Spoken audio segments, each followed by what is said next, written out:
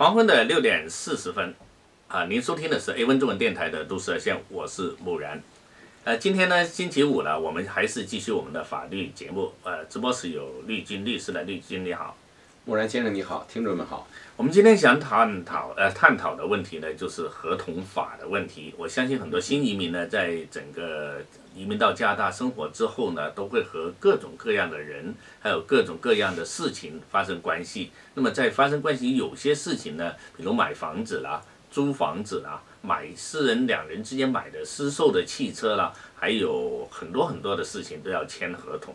那么可能我们对合同的一些认识啊，都是来自中国大陆的教育。加拿大的合同究竟怎么样呢？所以请丽君律师给我们介绍一下。如果收音机旁边的听众呢，有些同呃什么疑惑，或者你们在签合同过程中遇到一些呃困难，或者一些没有想明白的事情，都可以打电话四一六八七零幺五四零跟丽君律师探讨一下的。首先，我想问一下丽君律师，在加拿大的这个签合同呢，有些什么要求啊？啊，是这样子。嗯。呃，先说合同本身，因为我们从东方来的呀，往往一谈到合同，往往想到很正式的法律文件，是吧？但在这个西方，特别是加拿大、美国的合同法里面呢，合同呃并不限于包括这个真正的呃所谓经济活动、法律文件很正规的，呃，平常口头上的事儿也可以算合同，对吧？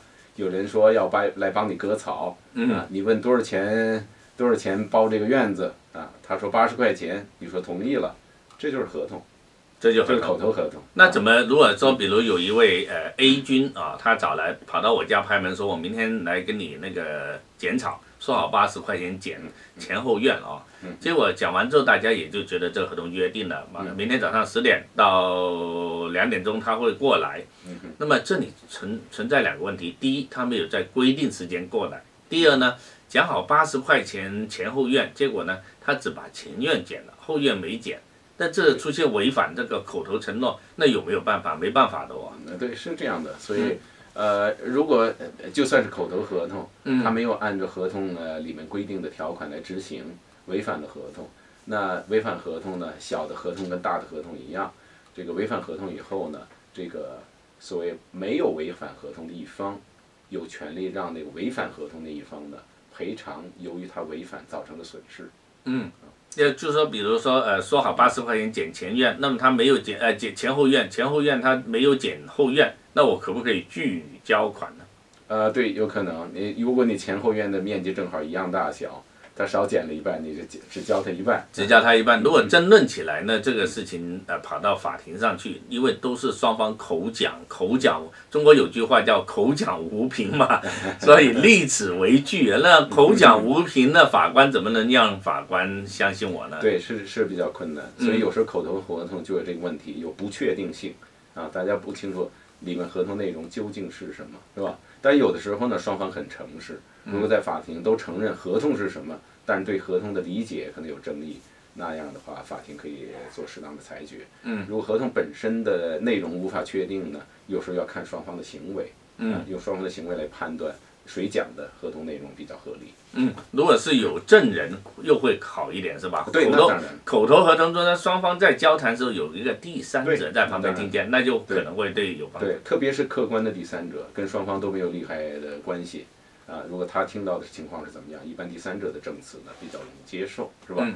另外，合同呃有一个大的问题，那就是说说到口头合同跟笔头合同。嗯。呃，是这样的，有些事情口头合同完全无效，法庭不予执行的。比如呢？比如说涉及到地产的问题，好吧？买房、卖房，呃，租呃这个所谓抵押贷款这类东西，呃，涉及到地产的产权的转移的时候，这个是无效的。但是呢？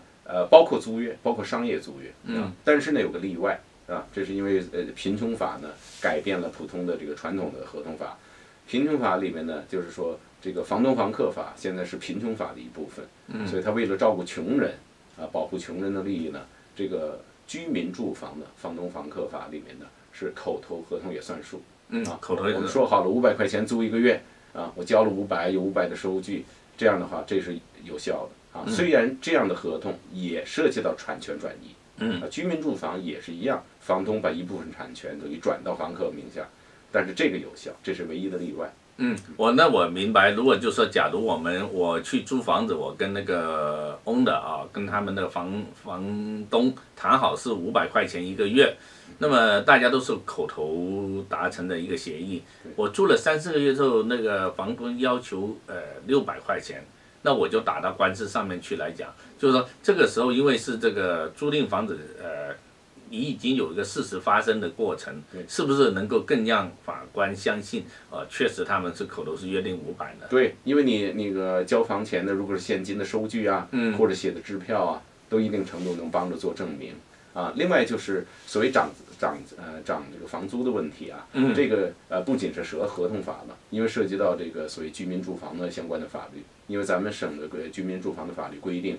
呃，房东在一年之内是不能涨租的啊，哦，一年以内不能涨租，要涨的要到第二年才能开始涨。还有涨租之前有没有规定要提前多少时间要告诉那个租客？对，这这方面都有相应的，都有相应的规定，一定要提前。我记得提前提前三个月，等于提前九十天要给笔头通知，要给笔头通知。嗯，还有一些我们呃，我们经常看到有一些租房的投诉案里面呢，就说双方对合同没有异议。对租金没有异议，但是呢，在过程居住过程中呢，有些物品坏了，那按照呃安审的规定呢，他们这个物品的维修费用必须要由房东来处理。但是房东说，你使用那么久，你使用方法不恰当，你才弄坏我这个洗衣机。那这种情况又怎么办呢？那这种情况呢，呃，里面有很多争议了。嗯。但是也许呢，我们今天不在这方面深入，因为这是涉及到另外一个领域。就居民住房是一个完全领域，跟咱们泛泛的合同法呢，